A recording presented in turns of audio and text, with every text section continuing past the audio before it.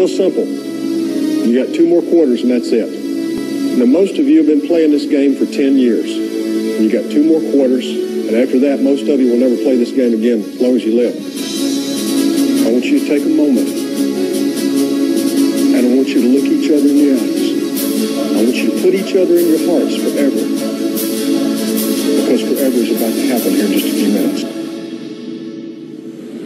Got my fans in the stands, my team on my back, my family in my heart. I put my city on the map. See, I'm cool with my school, but I know I can do better. I checked the mail yesterday and not one college letter, not one college offer after all this hard work. I'd be telling you a lie if I said it didn't hurt. So how do I stay focused in this game called life? And do I have a fair chance when this world's so shite?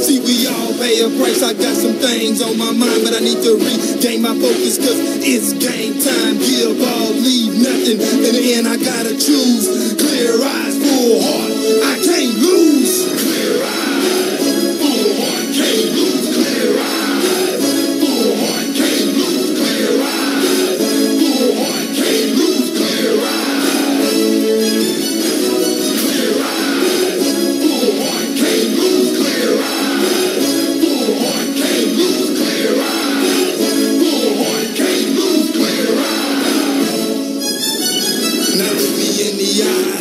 put your hand in mine. About to happen right here in this moment of time. So let's draw a line right here in the sand. And let it be said that on this very day is the day that we took a stand. Cause not just a game, it's more than a game. It's more than a hurt, it's more than the pain. It's more than the glory, it's more than the fame. This right here is about legacy, man. So it's bigger than me, it's bigger than us. We can lose sight in the midst of the fuss. Let's slow it down and take it in. Enjoy this moment. What's the rush? They want it back, but we wanted more. This is what we've been waiting for. With tears in our eyes, we let our hearts roar.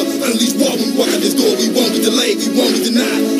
End, we won't refuse with clear eyes, a full heart. There's no way that we can.